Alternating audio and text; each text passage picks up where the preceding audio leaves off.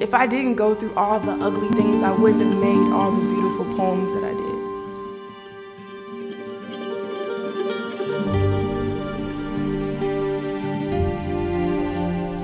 That's just my healing process. And I think that I put poetry on this pedestal because it has supernatural powers to me.